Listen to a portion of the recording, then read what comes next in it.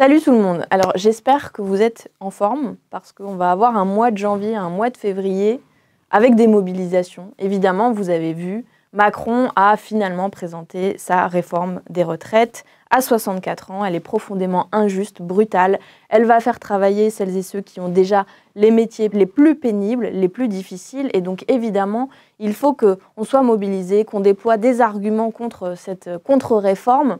Et puis qu'on se retrouve surtout euh, dans la rue. Il va nous falloir à l'Assemblée mettre la pression sur le gouvernement et évidemment des mobilisations sociales et populaires d'ampleur.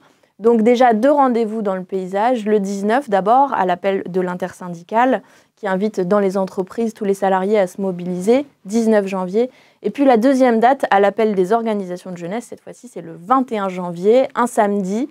Il faut euh, voilà, prendre vos baskets, venir dans la rue et montrer à ce, gouvernement qu'on est majoritaire. Le peuple ne veut pas travailler jusqu'à 64, 65 ans. Et donc, je vous appelle à ces deux dates, 19-21 janvier, et je vous y donne rendez-vous avec le plaisir de vous y retrouver.